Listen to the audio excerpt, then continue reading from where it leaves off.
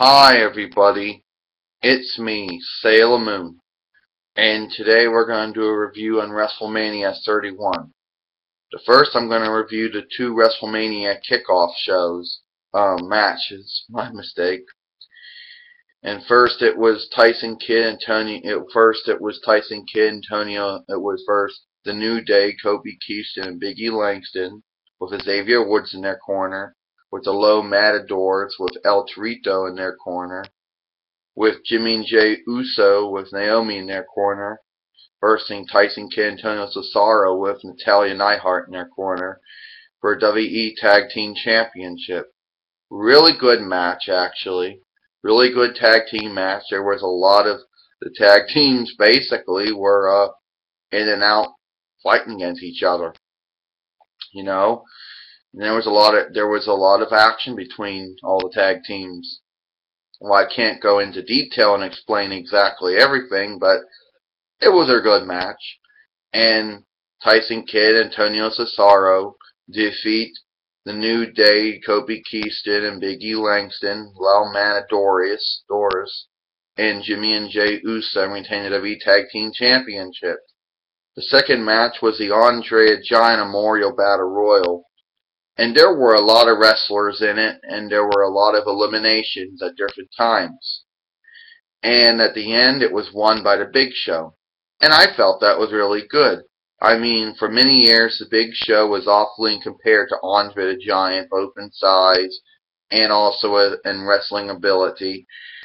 You know, and when he was in WCW, they storylinely built him up to be Andre the Giant's son. But in reality, he wasn't. So that was really good. Then it was the WrestleMania match itself with the Intercontinental Championship uh, ladder match consisting of Daniel Bryan versus Bad News with Bad News with R-Truth, Luke Harper, Dolph Ziggler, Stardust, and Daniel Bryan versus Bad News Barrett. And there were a lot of good. There were a lot of times where they used the ladder as a weapon there were a lot of times where each one stopped each one from coming, trying to get up the ladder, pushing each other down, knocking each other down. And at the end, Daniel Bryan wins the WWE Intercontinental Championship, defeating the following Bad News Barrett, Dean Ambrose, Luke Harper, Dolph Ziggler, and Stardust. I forgot to mention him.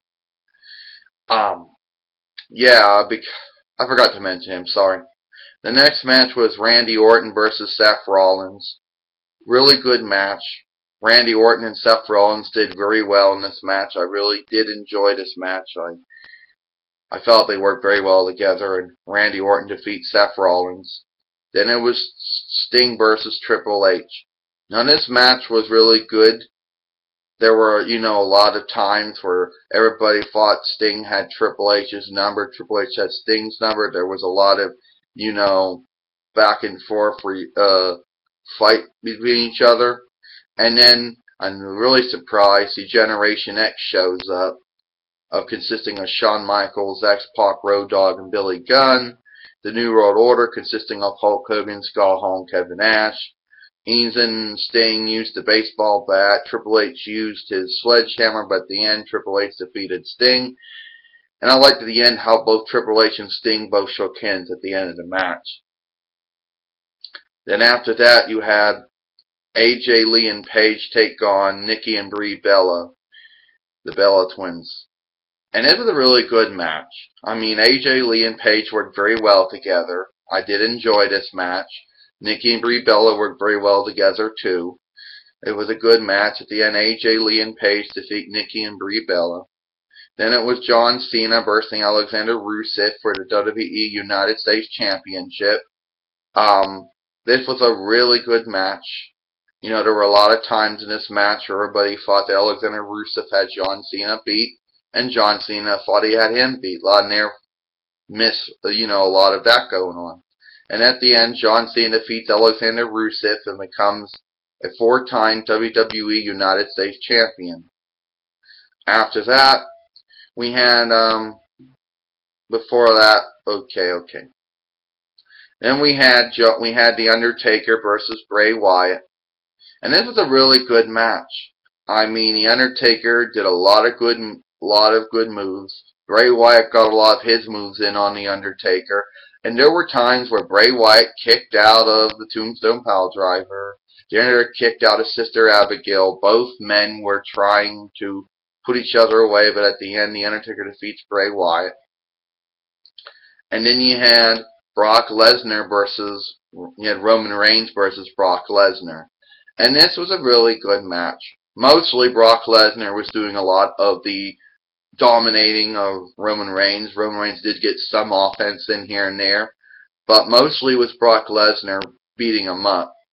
And then surprise, Seth Rollins shows up, cashes his money in the bank, turns it into a triple threat, so then it becomes Roman Reigns versus Brock Lesnar versus Seth Rollins.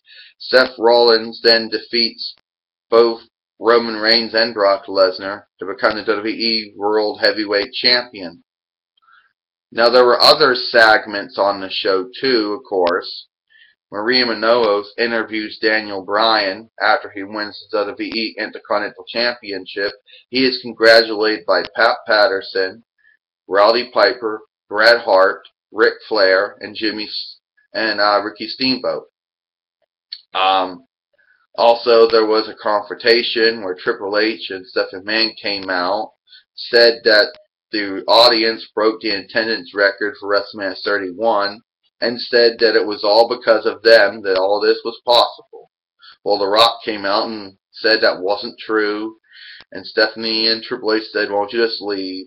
Then he brought in UFC women's fighter, forget what her name was, and she said that she was going to beat up Stephanie McMahon, threw Triple H around, even gave her an armbar.